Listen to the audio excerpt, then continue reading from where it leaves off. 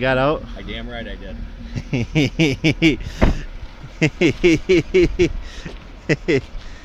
yeah.